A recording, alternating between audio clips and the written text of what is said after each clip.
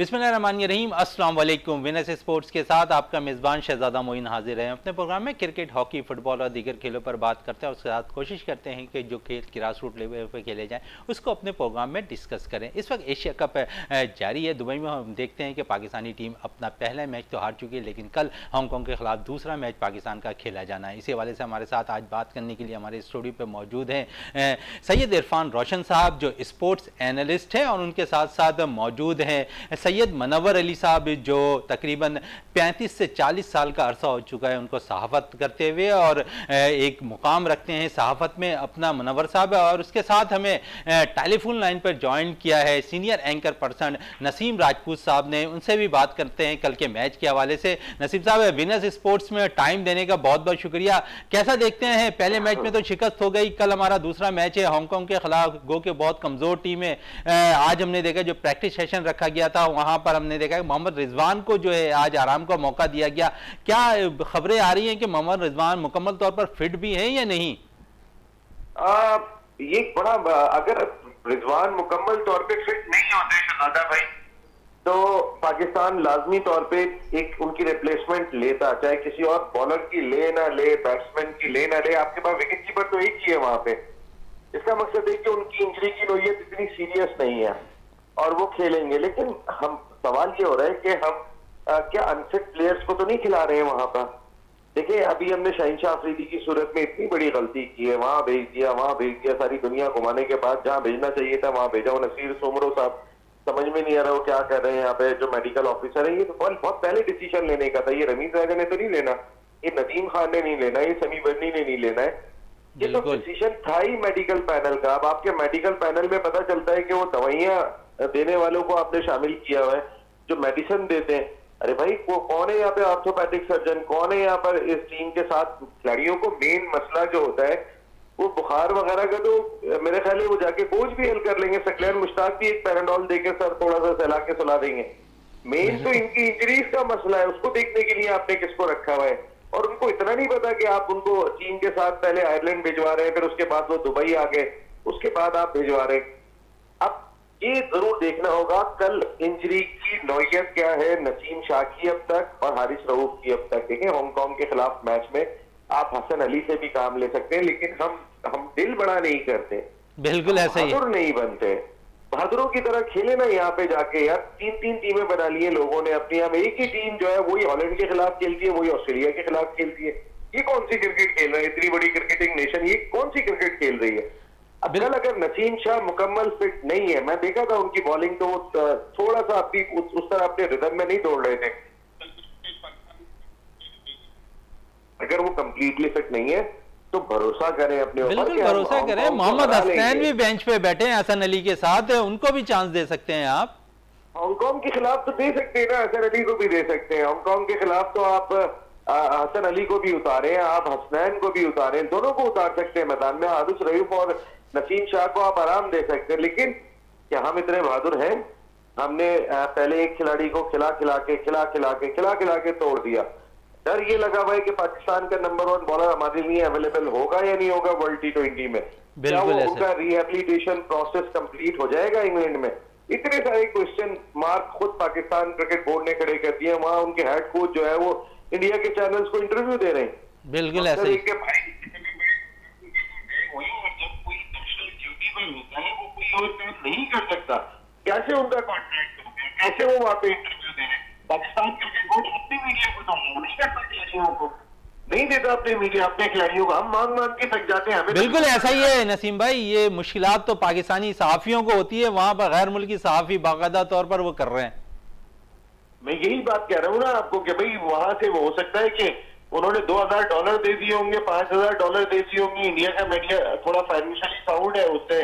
पाकिस्तान के कोच पे एहतजाज कर लिए होंगे, उनसे कॉन्ट्रैक्ट कर लिया होगा। लेकिन ये गरीब मुल्क, जिसके इतने सारे कोई करोड़ों आवाम इस वक्त हाथ में फंसे हुए हैं, इसके मीडिया का क्या कसूर है इसको जो है, वो कुछ नहीं देने के मूड में होते। वो मांग मांग के थक जाएँगे आपसे खिलाड़ी के भाई। एक खिलाड़ी हमें भी दे दे, हम थोड़ी सी बात कर लें। लेकिन वो क्योंकि उनको एक डर होता है कि क्वेश्चन ये होगा कि शाहिन शाह अफरीदी इतने अरसे से घूम के वहाँ काम क्यों इसका जवाब कौन देगा? क्या अनफिट खिलाड़ी को हम कैरी करते रहे इसका जवाब कौन देगा? बहुत सारे ऐसे सवाल है शहजादा भाई कि वो फिर चाहते ही नहीं है कि मीडिया तक बात आए वो पप्पा को या तो अपने मनपसंद मीडिया को दे देते हैं वो। कि भाई वो तो करेगा ही सीधे सीधे सवाल बिल्कुल ऐसा ही है। हर मीडिया के लिए तो नहीं होता फिर खिलाड़ी। वो तो होता ही उस मीडिया के लिए। जिसने सिर्फ़ और सिर्फ़ ट्वीट भी उनके मतलब का करना होता है जिसने खबर भी उनके मतलब की देनी होती है ये सब उनके लिए है। बिल्कुल। आपके और मेरे लिए तो कुछ भी नहीं है यहाँ पे।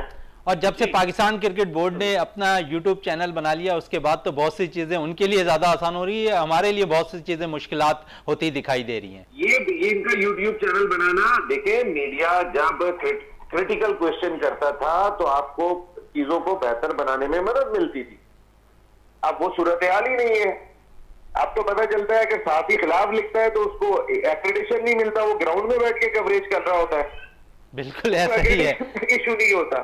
भाई इस चीज़ को जरा पाकिस्तान क्रिकेट बोर्ड के आला हुकाम को देखना होगा इन मामला को हल करना होगा। भाई आपके खिलाफ कोई किस जात पे तो कोई खिलाफ नहीं लिख रहा ना। पाकिस्तान भाई मैं शाहिनशाह अफरीदी पे अगर अभी बात कर रहा हूँ तो मैं खुदा ना खासा किसी पाकिस्तान क्रिकेट बोर्ड के ऑफिशियल की जात पे बात नहीं कर रहा हूँ। मैं पाकिस्तान के उस क्रिकेटर की बात कर रहा हूँ कि जो इस मुल्क का नंबर वन बॉलर है। बिल्कुल। और ये 22 करोड़ आवाम जो है वो उसे खेलता दिखना चाहती है। अगर इस बात पे भी कोई नाराज़ हो जाता है तो भाई मैं तो अपना काम करूँगा। नहीं चाहिए आपका कोई खिलाड़ी या। बिल्कुल बिल्कुल। अच्छा नसीम भाई ये तो हमारी बातें हो गई। अब थोड़ी सा मैच के हवाले से बात कर लें। जिस तरह आप भी पिछले प्रोग्राम में हमारे ज़िक्र करते हुए नज़र आए थे कि हमारे पास तीन नंबर तक तो बैटिंग नज़र आ रही है उसके बाद तो हमारे पास बिल्कुल ही फुकदान नज़र आ रहा है बैटर्स का। तो वही कुछ इंडिया के खिलाफ होता हुआ नज़र आया फ्लॉप होती हुई मिडल ऑर्डर नज़र आई। अगर हम देखें तो ऊपर से अगर हमारे नंबर पर बाबर आज़म आउट हो जाते हैं मोहम्मद रिजवान आउट हो जाते हैं फखर आउट हो जाते हैं फिर रन करने के लिए कोई मौजूद नहीं होता। यही कुछ इंडिया के खिलाफ हुआ कि रिजवान विकेट पर ज़रूर खड़े रहे। लेकिन बाबर और जो है, फखर जल्दी आउट हो गए, जिसका खमजाना हमें भुगतना पड़ा, क्योंकि मिडिल ऑर्डर पे हमें बैटिंग करने वाला कोई दस्तियाब ऐसा बैटर नहीं था जो लंबी इनिंग खेल सके। तो जिस तरह आप पिछले प्रोग्राम में भी हमारे कहते हुए नज़र आए कि हमारे पास फुकदान है मिडिल ऑर्डर का, जिस हमने काम ही नहीं किया, आज उस चीज़ को हम देखते हुए नज़र आ रहे हैं और वो भी Asia cup T world cup के अंदर। शहजादा भाई मैं आज भी अपनी इस बात पे कायम हूँ और पिछले छह महीने से कायम हूँ जो जिस टॉप थ्री की आप बात कर रहे हैं कि हमारा टॉप थ्री अगर नहीं चलता है तो मिडिल ऑर्डर बैटिंग नहीं है मिडिल ऑर्डर बैटिंग के खराब होने की वजह ही ये फ़र्स्ट थ्री बैट्समैन है अब इस बात को बहुत सारे लोग जो है वो आ, कहेंगे कि ये किस तरह की बात कर रहे हैं लेकिन ये सच्चाई है अब पहले हम बोलते थे वजह से हमारी टीम 160 170 रन की टीम बन गई है अब इंटरनेशनल क्रिकेटर्स भी कहने पे आ गए अताबद्दू भी ये बात कह रहे हैं, वो इंग्लैंड के क्रिकेटर्स को भी मैं सुन रहा था, वो भी ये बात कह रहे थे कि भाई, इनमें से किसी एक को उठना रहना चाहिए, एक को मिडिल ऑर्डर बैटिंग में खेलना चाहिए, ताकि आपकी मिडिल ऑर्डर बैटिंग में भी थोड़ी स्टेबिलिटी आ जाए। लेकिन उन दोनों को मज़ा आता है टॉप ऑर्डर पे खेलने का, क्योंकि सर्कल में फ़ील्ड होती है, वो शुरू में रन स्कोर कर लेते हैं, उसके बाद अपनी बारी को लेके चलते हैं, और टीम 160 170 रन स्कोर कर पाती है।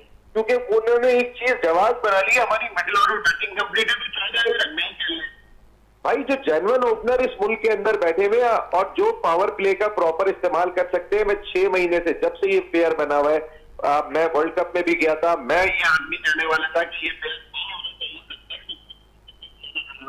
मैं जब भी कहता था ये पेयर नहीं होना चाहिए। ये पेयर असल में वजह है कि जिसकी वजह से आपकी मिडिल ऑर्डर बैटिंग सेट होगी नहीं दे रही इनमें से देखिए ना आप अपने जेनवन ओपनर्स को लेकर आए तीन नंबर पे बाबर आके बैटिंग करते हैं पाँच नंबर पे रिजवान चले जाते हैं तो ये आपकी बैटिंग में ऑटोमेटिकली स्टेबिलिटी आ गई। आपके ओपनर का भी मसला हल हुआ। मिडिल ऑर्डर का भी मसला हल हो गया। मिडिल ऑर्डर का भी हल हो गया। तो हम मिडिल ऑर्डर को रोते ही रहेंगे जब तक हम अपने ओपनर्स को सही नहीं करेंगे। अब हम हम हमेशा देखिए आप अपनी चीज़ों को ऊपर से सही करते हैं। हम ऊपर को देख ही नहीं रहे आप दरमियान में आके जो है वो चेक कर रहे हैं। कि यार दरमियान खराब चल रहे हैं। भाई दरमियान को बेहतर बनाने का रास्ता अल्लाह ने आपको दिया हुआ है इन्हीं खिलाड़ियों की सूरत में दिया हुआ है। और फिर आप देखें फ़र्क देखें आप। शहादा भाई आप बाबर आज़म का स्ट्राइक रेट देखें अब तक चलने का एक सौ उनहत्तर। बिल्कुल ऐसा ही स्ट्राइक रेट देखें एक सौ उनहत्तर। आपके जो नीचे बैटर है वो तो पूरी बारी नहीं ले पाते उनका स्ट्राइक रेट को आप काउंट क्या करेंगे? आपके ऊपर खेलने वाले बैट्समैन आपने उनको तीन नंबर पे किया हुआ है। दस ओवर वो दोनों ओपनर खेल जाते हैं तो जो नई गेम का खेलने वाला है वो दस ओवर के बाद मैदान में उतर रहा है। अच्छा हमने खुद ही अपने सिस्टम को खराब किया है ना? हमने सिस्टम को सही नहीं किया हमने अपने सिस्टम को हम खुद ही खराब कर रहे हैं। इस मामले को हल करना चाहिए मॉडर्न डे क्रिकेट के तकाजे को। इंडिया के टॉप सिक्स का अगर स्ट्राइक रेट आप उठा के देखेंगे तो 157 प्लस है। बिल्कुल ऐसा ही है। एक सौ उनतीस हम किस ब्रांड की क्रिकेट खेल रहे हैं हम क्या खौफजदा और बुज़ुर्गों की तरह? अरे, हम क्यों नहीं फेयरलेस क्रिकेट खेलते? सारी दुनिया फेयरलेस क्रिकेट खेल रही है। आप इंग्लैंड जरा टेस्ट क्रिकेट देखे, वो किस लेवल का खेल रहे हैं। और सारे रिज़ल्ट क्योंकि भादरों की तरह खेल रहे उनके हक में आ रहे हैं। हम टी ट्वेंटी क्रिकेट भी टेस्ट क्रिकेट के अंदाज से खेलने, खेलते हुए दिखाई दे रहे हैं। ऐसी बुजदिलों की तरह बिल्कुल तो बुजदिलों की तरह मैच में लड़ते हुए भी दिखाई दे रहे हैं बाज मैचेस के अंदर है। नसीम भाई इस टूर्नामेंट के अंदर एशिया कप के अंदर हम देखते हैं कि अफ़गानिस्तान की टीम अच्छा परफॉर्म कर रही है। तो कैसा देखते हैं अफ़गानिस्तान की टीम को? देखिए अफ़गानिस्तान की टीम ना इंडिया को भी टफ टाइम देगी पाकिस्तान को भी टफ टाइम देगी वो और प्रॉपर टफ टाइम देगी। देखें पहले हम डरा करते थे उनके दो स्पिनर बहुत तगड़े हैं। बिल्कुल। अब उन्होंने अपनी बैटिंग भी बहुत अच्छी कर ली है। अब उनके जो फास्ट बॉलर है जो खासकर एक नया फास्ट बॉलर है उसका जो कट हो रहा है गेंद वो भी नए गेंद से आ, आ, थोड़ा प्रॉब्लम क्रिएट कर रहा है। पहले हम कहते थे राशिद और मुजीब को संभल के खेलना है।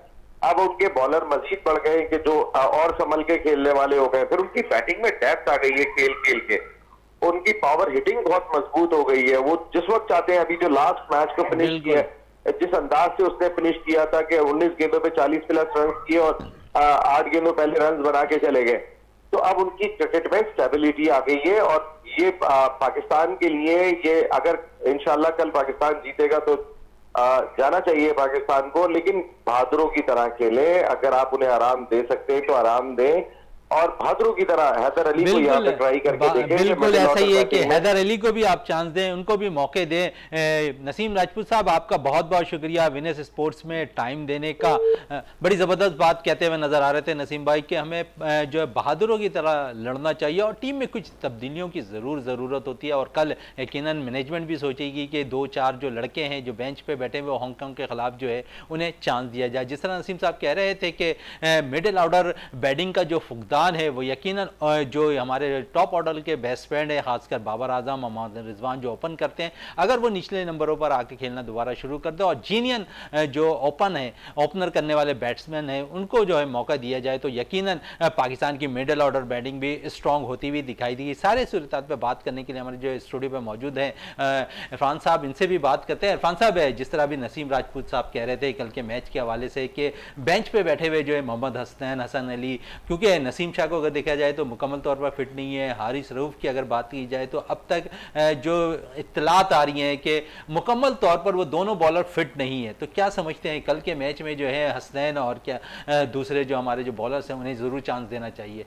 रहीम देखिए, नसीम भाई ने बहुत अच्छी बात की, लेकिन मैं समझता हूँ कि एक मैच हार के हम पाकिस्तानियों को भी अपना दिल छोटा नहीं करना चाहिए। और इंशाल्लाह कल जो हांगकांग से मैच है तो ज़ाहिर बात है पाकिस्तान इंशाल्लाह जीतेगा।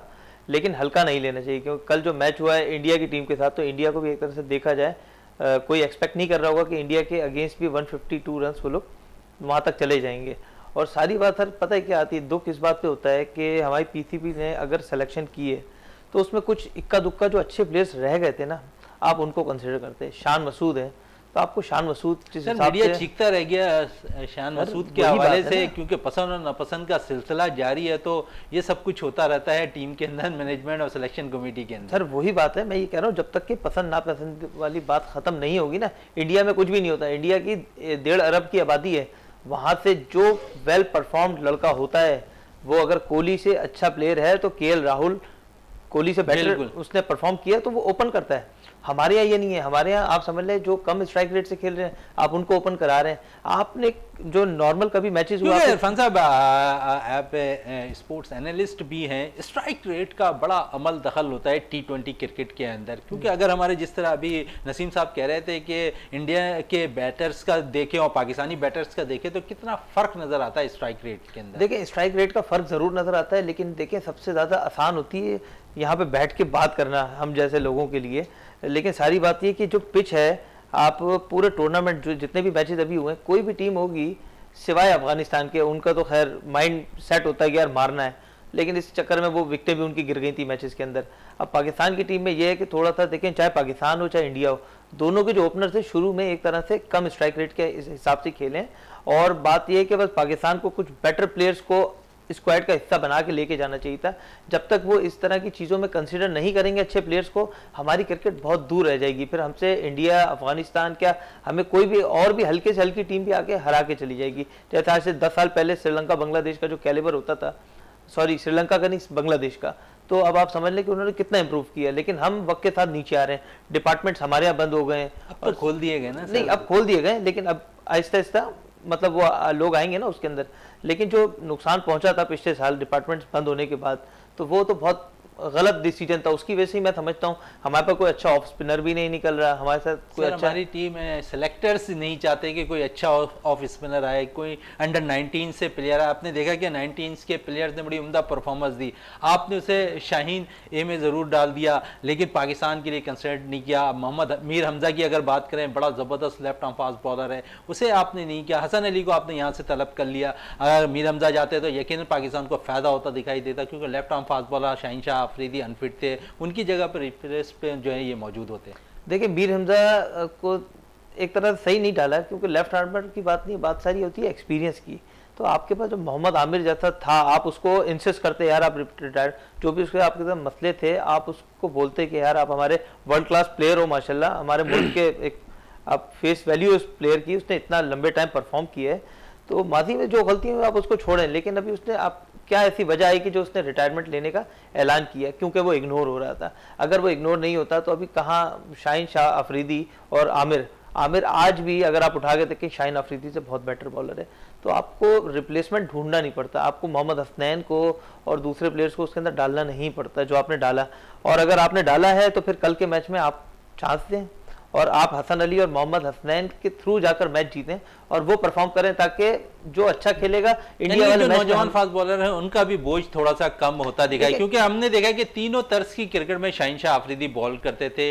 ये प्रेशर उन पर ज़्यादा पड़ा बॉल क्योंकि फास्ट बॉलर के लिए जो है तीनों तर्ज की क्रिकेट खेलना बहुत ज़्यादा मुश्किल होती है। हम्म। तो एज ए इंटरनेशनल प्लेयर उनका काम भी है लेकिन बहुत ज़्यादा क्रिकेट नुकसानदेह भी होती है खासकर फास्ट बॉलर के लिए। अगर थोड़ा रेस्ट दे दे के खिलाते तो ये वक्त देखना नहीं पड़ता। सर इंग्लिश क्रिकेट बोर्ड उठा उठा के देख लीजिए ऑस्ट्रेलियन क्रिकेट बोर्ड जैसे उनके हेजल बोर्ड हैं पैट क्यूमेंस हैं स्टार्क हैं, इस तरह उनके पास बड़े अच्छे वर्ल्ड क्लास बॉलर्स हैं।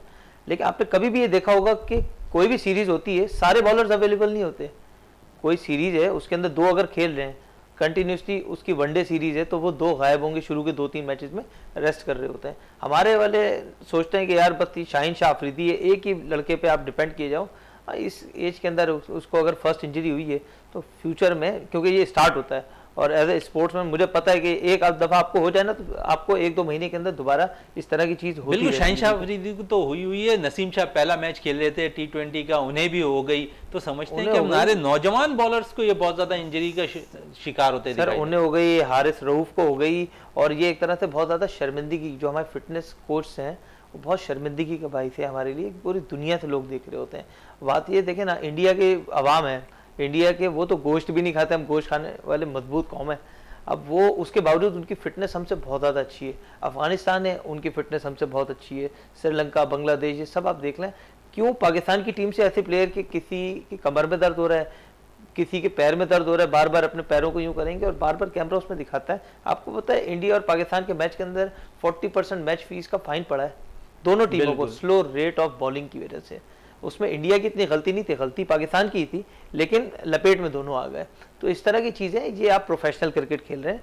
प्लस ये हमारे जो पीसीबी के जो चेयरमैन साहब हैं ना, इनको बहुत ज़्यादा अच्छे डिसीज़न लेने पड़ेंगे। अगर ये मुल्क से मतलब चाहते हैं ना कि हमारे अच्छे प्लेयर्स निकले और हमारी क्रिकेट बिल्कुल अच्छे प्लेयर निकले। इस पर इरफान साहब ज़रूर बात करें। या मनवर साहब के पास आते हैं। मनवर साहब है तकरीबन 35 से 40 साल का अरसा आपको हो गया है। शोबे सहाफत से वाबस्ता हुए।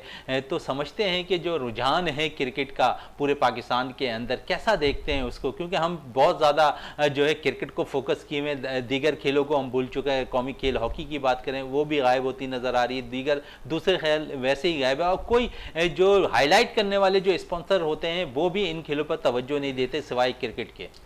देखें पूरे पाकिस्तान में क्रिकेट जो है, बहुत पसंद की जाती है। हालाँकि हमारा जो कौमी गेम है, वो तो हॉकी है, और वो बहुत पीछे चला गया है। शहनाज शेख थे इसलाउद्दीन थे, ये सब लोग खेलते थे, और हम लोग बहुत उससे तवज्जो से सुनते थे, रेडियो से उस, इस वक्त इतने चैनल्स भी नहीं थे, और बहुत एक अच्छा लेकिन रफ्ता रफ्ता वो पीछे चला गया, उसके तमाम मैचेस वगैरह और तमाम चीज़ें। अब लोगों में इतनी वो नहीं रही उसके हवाले से ना, सब क्रिकेट ही देखते हैं। और घरों में भी, महलों में भी, हर जगह आप देखेंगे नौजवान और बच्चे क्रिकेट खेलते हुए नज़र आएँगे। हद तो ये है कि ख़वान में भी अब ये बहुत रुझान बढ़ गया है। हमारे यहाँ तो टीम है बाकायदा, वो जाती है मैचेस खेल रही है और लोग देख रहे हैं। तो ये बहुत अच्छा गेम है और मैं समझता ये हूँ कि इसके लिए मज़ीद जो स्कूल हैं यूनिवर्सिटीज़ हैं कॉलेज़ हैं, आम इदारे हैं, वहाँ पे भी बाकायदा इसकी टीमें होनी चाहिए और इनको फेवर करना सपोर्ट करना चाहिए। हमारे यहाँ जो बड़े बड़े इदारे हैं बिज़नेस के हवाले से, उन्हें चाहिए कि वो खेल और खिलाड़ी दोनों की सपोर्ट करें फेवर करें। हमारे यहाँ खेल के मैदान ही नहीं है। आप संडे के दिन देखें कि अक्सर जो स्टूडेंट हैं या बच्चे हैं या और नौजवान हैं, वो आपको गलियों में, सड़कों पे खेलते हुए नज़र आएँगे। उसकी वजह क्या है? कि उनके पास खेल के मैदान नहीं है। जो मैदान थे, उस पर इंक्रोचमेंट है और बहुत सारी दीगर मसाइल मुश्किल हैं। ये तो बाकायदा हुकूमत पाकिस्तान को चाहिए कि वो जितने भी हमारे खेल के मैदान हैं, उनको डेवलप करें। उनमें जो फैसिलिटीज़ हैं वो दें। और जो अभी आपने बताया कि जैसे डिपार्टमेंटल तो इससे बहुत अच्छा होगा। इससे हमारी क्रिकेट को भी और दीगर जो मैचेस हैं गेम हैं, उन सबको फ़ायदा होगा। और जो बेरोज़गारी होती है, वो भी नहीं होगी। क्योंकि अक्सर जो लोग खेलते हैं, वो चाहते हैं क्योंकि जॉब रहे। जॉब के हिसाब से वो काम करते रहें। अब बहुत सारे ऐसे हमारे गेम हैं कि जिनके खेलने वाले जो खिलाड़ी हैं, वो बेरोज़गार हैं। और हमारे यहाँ तो बहुत टैलेंट है खसूस नवाई बस्तियाँ गरीब आबादियाँ जैसे लियारी है। लियारी में तो इतना आ, मतलब हर तरह का टैलेंट है। फुटबॉल से लेके बॉक्सिंग से लेके कौन सा ऐसा गेम है जो वहाँ पे उसका खिलाड़ी मौजूद ना हो। लेकिन अगर हम उन खिलाड़ियों को सपोर्ट नहीं करेंगे उनको जॉब नहीं देंगे उनके खेलों के मैदानों को अगर सही नहीं करेंगे तो किस तरह से गेम जो है वो पाकिस्तान में डेवलप होगा। खिलाड़ी जो है ना वो तो एक आ, सफ़ीर होता है। दी, दीगर ममालिक में जाके खेलते हैं। उनसे पाकिस्तान की आ, एक शोहरत भी होती है। पाकिस्तान का नाम होता है और मीशत भी इसकी जो है वो बेहतर होती है। क्योंकि अब आप देखें क्रिकेट के मैचेस होते हैं। इसमें कितने लोग इन्वॉल्व होते हैं कितने स्पॉन्सर होते हैं कितने टिकट फ़रोख्त होते हैं। और ये मैं समझता हूँ कि नौजवान लड़कों में ये गेम नहीं है मकबूल। ये ख़वान में लड़कियों में भी बहुत मकबूल है। वो किसी भी उम्र की हों। आप देखें जब मैचेस होते हैं तो वहाँ कितनी बड़ी तादाद में ख़वान आती हैं लड़कियाँ आती हैं और फैमिलियाँ आती हैं। वो दरअसल लवर होते हैं। वो इसको देख के बहुत खुश होते हैं अपने खिलाड़ियों को सपोर्ट करते हैं। अब जो हमारे यहाँ जैसे तस्लीम आरिफ साहब एक हुआ करते थे आपको याद होगा। क्या खेलते थे है ना? विकेट कीपर भी थे बेहतरीन विकेट कीपर ओपनर भी थे है ना? जावेद मियादाद सरफराज यूसुफ। है ना? हाँ ये जो लोग थे अब वैसी क्रिकेट तो नहीं है।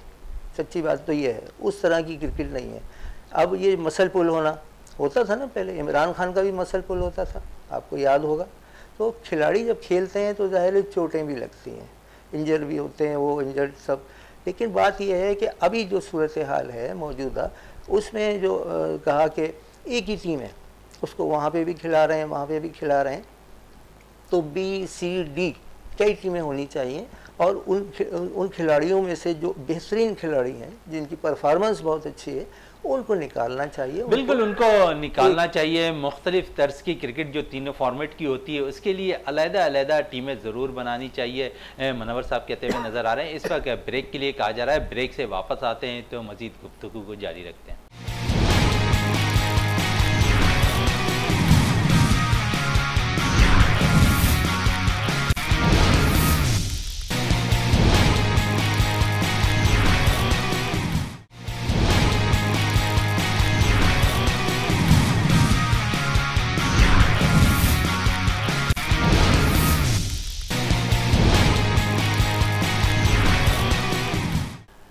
पहले बात हो रही थी ख़ासकर नौजवानों के हवाले से और फिटनेस के हवाले से कि अब फिटनेस का लेवल पाकिस्तान के अंदर जो है वैसा दिखाई नहीं देता, क्योंकि हम देखते हैं कि माजी में जिस किस्म के फिटनेस कोचेज रखे जाते थे, ट्रेनर रखे जाते थे बाकायदा तौर पर फिटनेस को, मसाइल को हल करते हुए नज़र आते लेकिन अब ऐसा कुछ होता नज़र नहीं आता, क्योंकि हमने देखा कि पिछले मैच के अंदर तीन हमारे जो पाकिस्तानी खिलाड़ी थे, मोहम्मद रिजवान जो विकेट कीपर थे, उन्हें भी फिटनेस के मसाइल से दो चार होते हुए नज़र आए, ग्राउंड्स के अंदर हारिस रहू और नसीम शाह। ये तीनों ऐसे खिलाड़ी थे जो पाकिस्तान का मुस्तबिल है और तीनों को ग्राउंड पर देखा गया कि फ़िटनेस के मिसाल उनके साथ होते हुए दिखाई दिए। तो इसी हवाले से हमारे साथ इरफान साहब मौजूद हैं, इनसे बात करते हैं। इरफान साहब फ़िटनेस के हवाले से तो हमने बहुत सी बातें कर ली और ख़ासकर ग्राउंड्स के अंदर भी हमने देखा जो मैार था हमारी फ़िटनेस का, वो बहुत ज़्यादा गिरता हुआ नज़र आ रहा है। क्या समझते हैं कि जो हमने वहाँ पर ट्रेनर रखे हुए हैं फ़िटनेस के, वो सही तौर पर काम नहीं कर रहे हैं या हमने ट्रेनिंग पर वक्त देना कम कर दिया है? देखें, सबसे पहली बात तो जो इंडिया पाकिस्तान का जो मैच होता है ना, वो वैसे ही इतना प्रेशर मैच होता है। और इतफाक़ से जो जो फिटनेस की जो इशू हुआ, ये इतना बड़े मैच में दो तीन प्लेयर्स के अंदर आ गया। वरना अमूमन पाकिस्तान टीम का जो फिटनेस लेवल है, वो बहुत अच्छा है, माशाल्लाह। और ये बस अल्लाह की तरफ़ से था, इसमें क्या अल्लाह की मसलियात थी, ये होने वाली बात ही हो गई। लेकिन जो चीज़ें हो गई उसको अभी पीछे छोड़कर अब इन्हें ये देखना चाहिए कि अब ये दोबारा रिपीट ना हो ये चीज़ें। फिटनेस में जहाँ जहाँ कमज़ोरी है, ये तो फिटनेस जो वो हैं फिटनेस स्पोर्ट्स फिटनेस वाले, उनको सबको चाहिए कि वो, उनकी ज़िम्मेदारी उन पर आयद होती है कि वो प्लेयर्स को ऐसी फिटनेस दें कि कल को हमारा पूरी दुनिया में मज़ाक ना बने। क्योंकि देखा जाए, पिछले मैच में मज़ाक बना है पाकिस्तान की टीम का कि यार, यहाँ पर इनके फिटनेस किस तरह एक प्लेयर के साथ हो तो चलो कोई बात है। दो तो आपके मेन फास्ट बॉलर्स जिनके ऊपर आप डिपेंड कर रहे हैं। सही है तो सामने टीम को तो एक मौका मिल जाता ना यार। ये तो अनफिट है, हम इनके ऊपर फिर वही हुआ एंड में, उन लोगों ने अटैक कर दिया और एंड में आकर वो। मैच जीत गए जो कि होना नहीं चाहिए था। तो इस तरह के रमीज राजा साहब को चाहिए कि अच्छा फिटनेस की आपने बात कर ली, ये चीज़ होनी नहीं चाहिए, नौजवानों को ग्रूम करने चाहिए। तो हमने अभी जो अपनी जो टीम का लेवल बना लिया, वो टी ट्वेंटी की क्रिकेट की हद तक लगा लिया है शायद कि हमने, जो भी प्लेयर्स निकलेगा, हमारी टी ट्वेंटी क्रिकेट से ही निकलेगा। और क्योंकि हम देखते हैं कि under nineteen T twenty super league Pakistan में होने वाली है तो समझते हैं कि पीसीबी का ये अच्छा इकदाम है कि आप टी ट्वेंटी क्रिकेट कराएँ, बजाय इसके कि अगर आपको खिलाड़ी बनाने हैं, उसके लिए चार रोज़ा मैचेस होने चाहिए, पाँच रोज़ा मैचेस होने चाहिए, वहाँ से क्रिकेटर्स बनते हैं। लेकिन ऐसा कुछ होता दिखाई नहीं दे रहा। आपने टी ट्वेंटी क्रिकेट को बहुत ज़्यादा प्रमोट कर दिया। आप समझते हैं कि अब टी ट्वेंटी क्रिकेट से जो है प्लेयर्स निकालेंगे। अगर लीग में जूनियर लीग आप करा रहे हैं अंडर नाइनटीन की वन अंडर नाइनटीन के प्लेयर्स खेल रहे हो गो के उन्हें पैसे ज़रूर नाइनटीन के प्लेयर को मिल रहे होंगे। लेकिन क्या समझते हैं उनका मुस्तक मुस्तकबिल ऐसा होता दिखाई दे रहा है कि ये लंबी क्रिकेट खेल सकें, क्योंकि ये हाल हमने अभी नसीम शाह के साथ देख लिया। देखिए, सबसे ज़्यादा हमारी जो क्रिकेट के जो ख़राब डिसीजंस हुए हैं पीएसएल में कोई बहुत अच्छा परफॉर्म करता है, बहुत से प्लेयर्स ऐसे होते हैं फ़र्स्ट क्लास क्रिकेट कभी नहीं खेली होती पार्ट नहीं होते उसका। और वो डायरेक्ट पाकिस्तान की टीम में आकर जो है, कभी कोई प्लेयर को आप ओपन में ट्राई कर रहे होते हैं, कभी किसी को एज अ बॉलर आप ट्राई कर रहे होते हैं फ़र्स्ट क्लास मैचेस तो आप समझ लें कि प्लेयर को पॉलिश करने के लिए खेलना बहुत ज़रूरी है।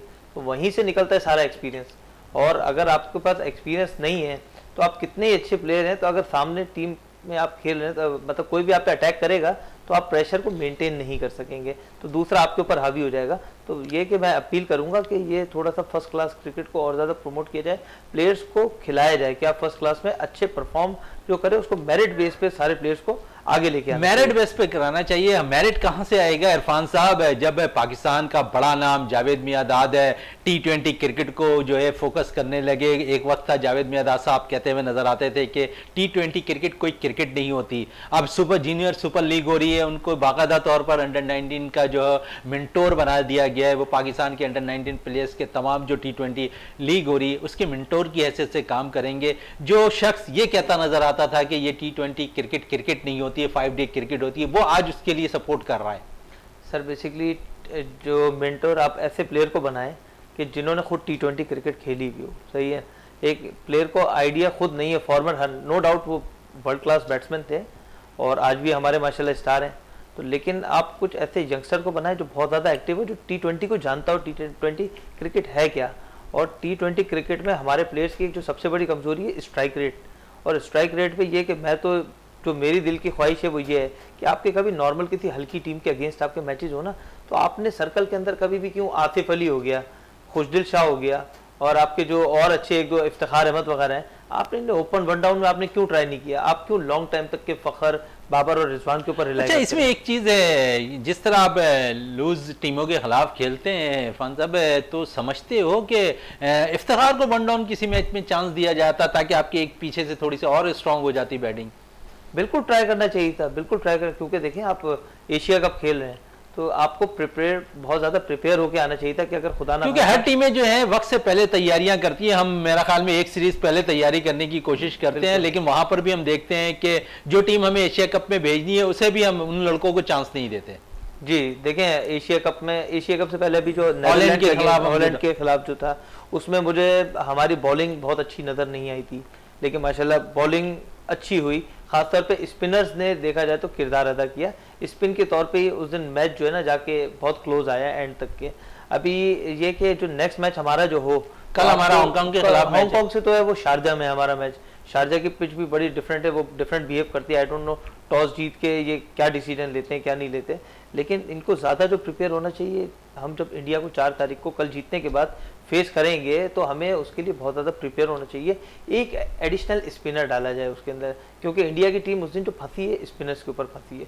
फास्ट बॉलर्स पे आप बहुत ज़्यादा रिलाई ना करें। आप लेकिन अगर आपके स्पिनर थे खुशदिल शाह खुशदिल शाह थे आपके पास इफ्तार बॉल करते हैं। आपने एक भी ओवर उन्हें उनसे नहीं करवाया। आपको करवाना चाहिए था। हो सकता है आपको वो जब रविंद्र जडेजा बैटिंग कर रहा था वो तो बहुत जल्दी आ गया था। तो आपको इफ्तार से एक ओवर में ट्राई कराना चाहिए था हो सकता है वो अपनी विकेट दे देता पीछे लाइन लग जाती। लेकिन हमारे जो कैप्टन है वो ब्रेव बड़े दिल से नहीं खेलते क्योंकि मैनेजमेंट जहाँ पर बड़े दिल का मुजाहरा नहीं करी वहाँ पर पीछे से बोला जाता है आपने ये करना है ये, ये अपनी मन पसंदीदा चीज़ कर रहे होते हैं। लेकिन दूसरे जो प्लेयर हैं इंडिया वाले देखें हमसे ज़्यादा उन्होंने बॉलर्स यूज़ किए और उस चीज़ में कामयाब हुए। और वो उन्होंने किसी भी उनके किसी बॉलर ने हमारे बैट्समैन को अपने ऊपर हावी नहीं होने दिया। उनका नया लड़का था अवेश खान उसने 42 रन दिए लेकिन वो बहुत अच्छा परफॉर्म करके गया। उसने मेन विकेट फखर जमान की निकाल दी। इस तरह हमारे बॉलर्स के अंदर पता नहीं क्या है हमारे कैप्टन जब उन्हें लीड नहीं करने देता प्लेयर्स को तो हमारे बॉलर्स जो फिर पिटाई खाते हैं। पिटाई खाते हैं। मनवर साहब, जिस तरह इरफान साहब कह रहे हैं कि खासकर जो है, जो हमें बड़े दिल के साथ ग्राउंड्स के अंदर उतरना चाहिए, ऐसा कुछ पहले के दौर में तो नज़र आता था। सपोर्ट करने वाले अगर कप्तान कोई फैसला लेता था, उसे सपोर्ट करने के लिए तीन चार लोग मौजूद होते थे। लेकिन इस टीम के अंदर हम देखते हैं कि बाबर आज़म अगर कप्तानी करते नज़र आ रहे हैं तो दूसरे एंड पर मोहम्मद रिजवान सिर्फ़ विकेट कीपिंग के पीछे खड़े होकर फ़ील्ड डिसीज़न करते हुए नज़र आते हैं। और अगर हम बात करें पिछले माजी में तो वहाँ पर हम देखें तो जावेद मियादाद को सपोर्ट इमरान खान को सपोर्ट करने के लिए जावेद मियादाद सलीम मलिक इजाज अहमद सभी मौजूद हुआ करते थोड़े से और आगे हम आ जाए तो फिर हम देखते हैं मोहम्मद हफीज शोएब मलिक, मिसबाउल हक को सपोर्ट करते हुए नज़र आए। तो इस टीम के अंदर हम देखते हैं कि वन ऑन ऑल सिर्फ़ जो है बाबर आज़म ही जो है एक कप्तानी के रोल अदा करते नज़र आ रहे हैं। दीगर प्लेयर उनका साथ देते नज़र नहीं आते। क्या वजूहत हैं कि समझते हैं कि टीम में भी कोई ग्रुप बंदी है? देखिए खेल में सियासत नहीं होनी चाहिए। ग्रुप बंदी नहीं होनी चाहिए। गेम है ये। अच्छा हम पाकिस्तान के लिए खेल रहे हैं। हमें ये सोच कर खेलना चाहिए और पूरी एफर्ट्स करनी चाहिए और जब भी कैप्टन हो या वो, उनको फेवर करना चाहिए सपोर्ट करना चाहिए। उस दौर की क्रिकेट में और आज की क्रिकेट में बेहद फ़र्क है। जब वो पाँच दिन का टेस्ट होता था और उसमें वो एक दिन रेस्ट होता था, सब और उसके बाद ये ट्वेंटी हुआ, टेन हुआ और अब पता नहीं क्या क्या हो जाएगा। तो लोग जो हैं अब उनके मिजाज भी बदल गए देखने वालों के भी, खेलने वालों के भी। बस वो चाहते हैं जितने जल्द ज़्यादा रन बन सकते हैं क्योंकि स्कोरी आप जब भी कर सकते हैं जब आपके पास ज़्यादा वो हो, बॉलिंग का और ओवर्स का मैच। लेकिन जब टी ट्वेंटी होगा या टी टेन होगा तो इसमें आप क्या कर सकते हैं? कितनी देर खेल सकते हैं? अच्छा फिर हर आदमी चौका और छक्का लगाने की फ़िक्र में होता है। अच्छा फिर ये कि अगर आप मिलकर खेलेंगे मुतहद होकर खेलेंगे, बगैर सियासत और ग्रुपबंदी के खेलेंगे तो मैं समझता हूँ कि बेहतरीन परफॉर्मेंस होगी आपकी और आपका टीम, आपका मुल्क भी जीतेगा। हमें चाहिए कि हम जब भी कोई गेम खेलें, चाहे वो फुटबॉल हो, हॉकी हो क्रिकेट हो हमें मुतहद होकर खेलना चाहिए और पाकिस्तान के लिए खेलना चाहिए। अपने लिए नहीं। ये नहीं कि ज़ाती बाज़ जगह ऐसा होता है ना कि वो लोग ये समझते हैं कि जी मैं अपना एक ऐसा वो कर लूँ कि मुझे लोग जाने, पहचाने, मैं स्टार बन जाऊँ। आप स्टार ज़रूर बने, लेकिन हमारा जो सबसे बड़ा स्टार है, वो है पाकिस्तान। बिल्कुल पाकिस्तान। इरफान साहब कल मैच है पाकिस्तान का हांगकॉन्ग के खिलाफ। क्या प्लानिंग के साथ ग्राउंड्स के अंदर उतरना चाहिए? समझते हैं कि कल थोड़ा सा मैच हल्का है तो हमें थोड़ा सा मिडिल ऑर्डर को चेक करना चाहिए। मिडिल ऑर्डर पर हमें हैदर अली को चांस देना क्योंकि अब हमने एज ए ओपनर वो टीम में खेला करते थे, अब उसे हमने भी मिडिल ऑर्डर बैटर बैटर्स बना दिया तो समझते हैं हैदर अली को भी कल चांस देना, मिलना चाहिए। देखिए, हैदर अली को कल चांस वैसे अगर मुझसे पूछे तो नहीं देना चाहिए, क्योंकि इफ्तार ने देखें अच्छा परफॉर्म किया था उस दिन। इफ्तार ने स्कोर किया था और रिजवान ने स्कोर किया था। और तीसरा स्कोर है शाहनवाज धानी शाहनवाज धानी ने। आप तो हमारे हमारे बैट्समैन को चाहिए बॉलर से सीख लें कि किस तरह हिटिंग होती है पावर हिटिंग सही है? अब वो जो हमारे प्लेयर्स हैं उनका सबसे बड़ा जो मसला है इस टाइम वो ये है कि जो पीसीबी जो लेके आए जिनको हैदर अली टाइप प्लेयर्स को इनकी जगह आप शुएब मलिक को डालते और आप किसी अच्छे प्लेयर्स को डालते अच्छा, हैं शुएब मलिक का एक फ़ायदा ज़रूर होता है कि वो नौजवानों को साथ लेकर चलते हैं कि दूसरे एंड पे मौजूद जो प्लेयर्स होते हैं नौजवान उनको वो खिलाते रहते हैं। ज़रूरत पड़ने पर वो भी हिटिंग करते दिखाई देते हैं। थोड़ी देर पहले आपने बात की हार्ट हिटिंग के हवाले से। तो आसिफ अली इस टीम के साथ मौजूद हैं, पाकिस्तानी जो कप्तान है, वो कहते हैं कि पाकिस्तानी टीम के अंदर सबसे अच्छी हिटिंग जो है आसिफ अली करते हैं। हमने देखा कि आसिफ अली को चांस दिया गया पहले मैच में। समझते हैं कि क्या वजूहत हैं वो पिछले चंद मैचेस से जो जिसकी, जिस तरह उन्होंने एंट्री की थी टीम के अंदर, धुआंधार अंदाज में, वो अपने धुआंधार इनिंग को जो है कंटिन्यू नहीं कर सके। देखिए इंशाल्लाह दोबारा परफॉर्म करेंगे। यही आपको याद होगा अफ़गानिस्तान वाले मैच में एक ओवर में उन्होंने मैच जितवा दिया था। तो किसी भी प्लेयर को हमें अंडर एस्टिमेट नहीं करना चाहिए पर थोड़ा सा कैप्टन को चाहिए उनको प्लेयर बनाए। सही एतमाद मिले। और बहुत से प्लेयर्स ऐसे हैं जो मैंने अभी बात की है बहुत इंपॉर्टेंट पॉइंट है। अगर आपके पास पावर हिटर है क्योंकि अगर आप सर्कल की बात करें आपके पास फ़खर जमान के अलावा कोई अच्छा पावर हिटर नहीं है। और बेहतर तो ये होगा कि बाबर आज़म नीचे अगर खेल लें तो मिडल ऑर्डर हमारा जैसे इंडिया का स्ट्रॉन्ग है। कोहली नीचे आता है ना लेकिन हमारे बाबर आज़म की सोच है कि वो ऊपर जाए। तो ऊपर जाए तो भाई आप कम से कम तो समझते हैं कि इस मैच के अंदर रिजवान के साथ फखर जमान आया वन डाउन पोजीशन पे हैदर अली अगर चांस मिलता है हैदर अली या इफ्तार अहमद को वन डाउन दे टू डाउन पोजीशन पर जो है बाबर अली बाबर आज़म खेलें। बिल्कुल ऐसी है बाबर आज़म के लिए जो सूटेबल नंबर है जैसे शुरू में इनका था जब इन्होंने सेंचुरियाँ स्टार्ट की मतलब फिफ्टी ओवर्स क्रिकेट के अंदर तो वो टू डाउन खेलते थे। टू डाउन तो इनका बेहतरीन नंबर है तो ओपनर की हैसियत से तो इन्हें मेरे ख्याल से कभी खेलना भी नहीं चाहिए। अगर आप खेलें तो 170 के स्ट्राइक रेट से मिनिमम खेलें। जैसे इंडियन रोहित शर्मा वगैरह हैं इनका स्ट्राइक रेट और इनका आप चेक कर लें। अब नो डाउट बाबर इस टाइम रैंकिंग में नंबर वन पे है। लेकिन आप स्ट्राइक रेट के हवाले से देखें तो और प्लेयर से बहुत दूर है वो। ये तो आप समझ लें कि जो हमारी पीसीबी की मीटिंग्स होती हैं तो उसके अंदर वो अभी भी डिस्कशंस नहीं करेंगे इन चीज़ों को बेहतर बनाने के लिए तो फिर वो कब करेंगे? बिल्कुल कब करेंगे? प्रोग्राम में टाइम कम है। मनवर अली साहब आपका बहुत बहुत शुक्रिया। सैयद इरफान रोशन साहब आपका बहुत बहुत शुक्रिया। प्रोग्राम का अख्ताम करते हैं। इस दुआ के साथ कि पाकिस्तान में खेल और खिलाड़ी तरक्की करते रहें और पाकिस्तान का सबसे लाली परचम दुनिया भर में रोशन रहे। इसी के साथ अपने मेज़बान शहजादा मोइन को इजाज़त दें। पाकिस्तान जिंदाबाद।